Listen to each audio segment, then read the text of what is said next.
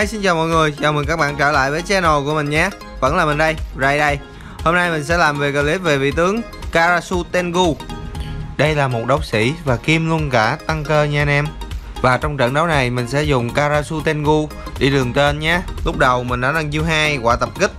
Mình sẽ nói luôn về kỹ năng này nha đây là một kỹ năng định hướng. Sau khi anh em sử dụng sẽ quăng ra một con quạ và gây ra sát thương vật lý kèm theo hiệu ứng giảm tốc nha anh em có thấy sát thương màu trắng trên mấy con quái không? Đây là sát thương nhận từ nội tại thanh vũ nha. Mình thì đi chung đường với bạn samurai. Nãy đến giờ mình farm trong hòa bình, nhưng bạn samurai thì không muốn cứ bam chiêu liên tục. Chắc là muốn cấu máu để à, rừng tay bạn xuống ganh mình đây nè. Quay lại với bộ kỹ năng nha anh em. Đao công lý, Karasutengu sẽ gây ra một lượng sát thương vật lý kèm theo hiệu ứng hất tung nha.